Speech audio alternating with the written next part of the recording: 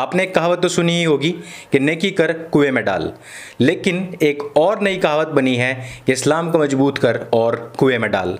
हमने बहुत पहले कहा था कि जो छोटी बच्चियाँ होती हैं, उनके प्रति एक सुन्नत है जो 1400 साल से चली आ रही है कि जैसे ही वो बच्ची प्यूबरिटी को प्राप्त होती है, उनको जवान मान लिया जाता है और उनके साथ में वही सुन्नत अदा की जाती है जो 1400 साल पहले पहली बार की गई थी।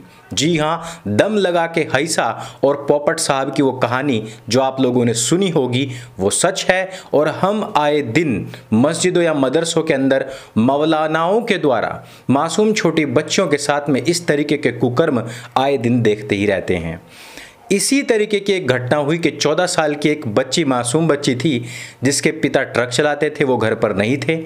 मौलाना उसको लेकर के गया मस्जिद में, वहाँ पर उसके साथ किया दुष्कर्म, उसको बनाया वहाँ पर बंदी। लोगों ने इस बात की सूचना उसके पिता को दी और वो दौड़ा दौड़ा अपने गाँव वापस आया। लेकिन इससे पहले कि वो मस्जिद में जाता, उस मौलवी ने उठा करके उस बच्ची को कुएँ में फेंक दिया।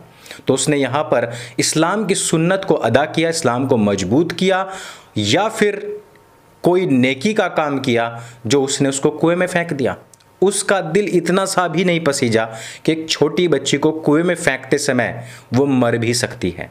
भगवान के शुक्र से वो बच्ची तो बच गई, लेकिन मौलाना वहाँ से फरार हो गया।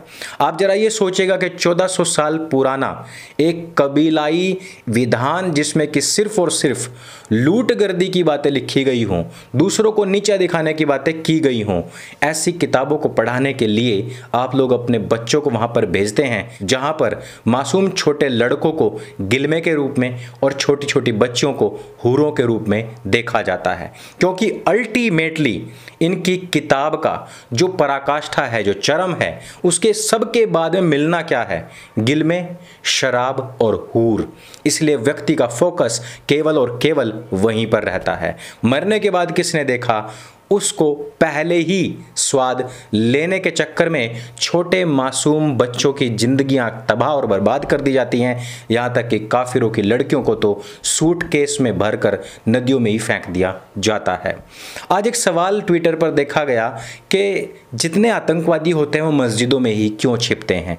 बहुत सारे लोगों ने सवाल पूछा और मैंने इस पर यही जवाब दिया कि जब जी न्यूज़ पर मेरी पहली डिबेट थी तब मैंने यही कहा था कि मस्जिद और मदरसे इनके दीनी कैंटोनमेंट हैं, जहाँ पर ये अपने लोगों को तैयार करते हैं लड़ने के लिए। और जहाँ से लड़ाई आरंभ होती है, व्यक्ति वहीं पर जा कर के छिपता है।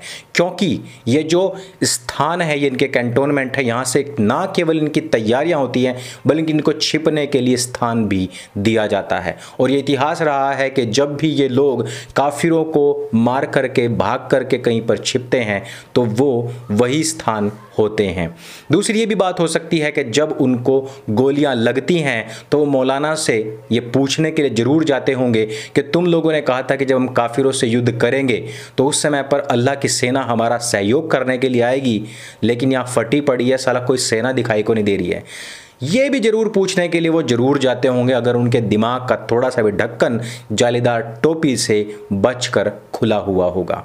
मस्जिदों के अंदर आतंकवादियों का छिपना और इस प्रकार छोटी छोटी मासूम बच्ची लड़कों के साथ में दुष्कर्म का होना आम बात हो चुकी है।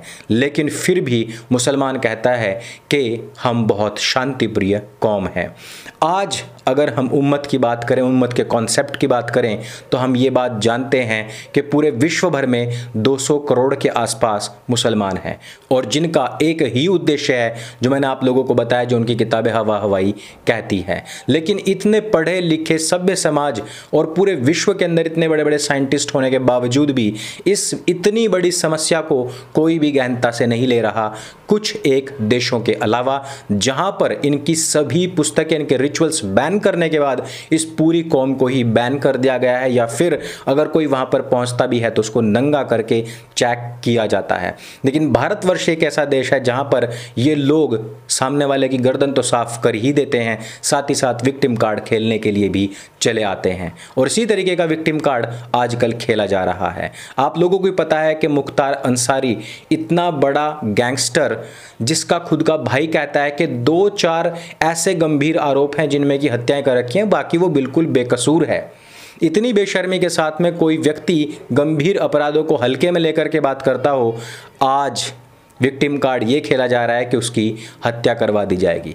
ये वही मुख्तार अंसारी है जो पंजाब की जेल में अभी तक काचे काट रहा था, लेकिन व्हील चेयर पर बैठकर बांदा जेल तक पहुँचा था। लेकिन जैसे ही बांदा जेल में वो उतरा, अपने पैरों पर चलते हुए वो बैरक तक पहुँच गया। अब आप ही सोचेगा कि इनके सरगनाओं के द्वारा इतनी बड़ी चाल केवल और केवल एक छोटे से एनकाउंटर से बचने के लिए क्या इनके साथ में इनकी किताब नहीं। क्या ये शहीद होने से बचते हैं? क्या ये बहत्तर हूरे प्राप्त करने से बचते हैं? या फिर इनको उस सच्चाई के बारे में मालूम पड़ गया है कि इन सब लोगों का पोपट ने पोपट बना दिया है? दोस्तों, यहीं पर बात नहीं रुकती है। यति स्वामी नरसिम्हानंद सरस्वती जी के खिलाफ भी एक बहुत बड़ी मुहिम आज की तारीख में चलाई हुई है।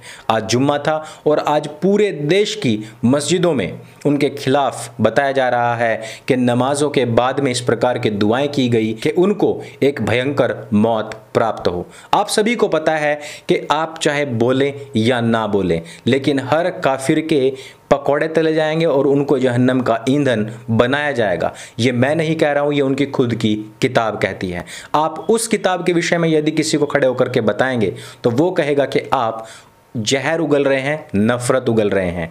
यहीं पर इस बात को समझ जाइए कि आपने किताब को बिल्कुल सही तरीके से पढ़ लिया है, क्योंकि आप तो किताब की भाषा बोल रहे थे, जहाँ पर यह बताया गया है कि काफिरों के पकोड़े तले जाएँगे। लेकिन सामने वाला उसको किताब के शब्द ना समझकर आपके शब्द समझ लेता है तो समझ जाइए कि दिमागी दिवालीपन की आड़ में वो कहीं ना कहीं इस 200 करोड़ लोगों की उस भीड़ को डिफेंड करना चाहता है, जिन लोगों का अंतिम उद्देश्य ही काफिरों को समाप्त कर बहत्तर हूर गिल में शराब के दरिया प्राप्त करना है। अमानतुल्ला खान कह रहा है कि हम ईंट से ईंट बजा देंगे। हम सिर्फ़ यही कहना चाहते हैं कि इतिहास एक बार उठा करके देख लीजिए, शुरुआत हमेशा किसने की है और उसका अंत हमेशा किसने किया है। अब की बार तुम्हारी लड़ाई किसी सरकार के साथ में नहीं, बल्कि एक यति के साथ में है, जिसने अपने जीवन का आधा हिस्सा केवल और केवल इस्लाम को समझने और समझाने में ही लगा दिया है। अंतिम बात फिर से एएसआई की खुदाई के बारे में। जैसी भी लगेगी और ज्ञानवापी के नीचे खुदाई तो ज़रूर होगी।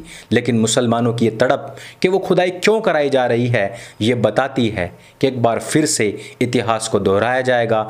मुसलमानों के मन में भी इस बात का पूरा पूरा भान है कि वहाँ पर एक मंदिर ही था और वहाँ पर केवल और केवल कब्ज़ा करने के बाद मस्जिद बनाई गई थी। मैंने पहले भी कहा था, ज़मीन की खुदाई करोगे तो वहाँ पर मुसलमानों के स्कैम निकलेंगे और मुसलमानों के कागज़ों की खुदाई करोगे तो वहाँ पर भी बाप दादाओं के नाम में हिंदुओं के ही नाम मिलेंगे। वैसे मैं आपको एक और जी बात बता दूँ कि अयोध्या में बनने वाली मस्जिद के लिए 16 महीने में केवल 20 लाख रुपए ही जुट पाए हैं। और ये वो कौम है जो कहती है कि हमने लाल किला ताजमहल और बहुत बड़ी बड़ी इमारतें इस देश के अंदर बनाई हैं।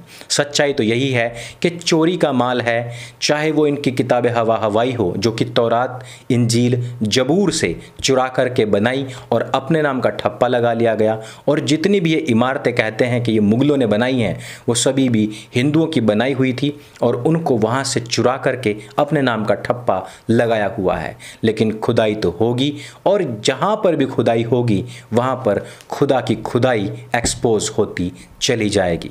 मस्जिदों के इस दुरुपयोग पर आप लोगों को क्या कहना है? और क्या आप भी चाहते हैं कि इन दीनी कैंटोनमेंट्स पर सरकार का पूर्ण रूपेण नियंत्रण होना चाहिए?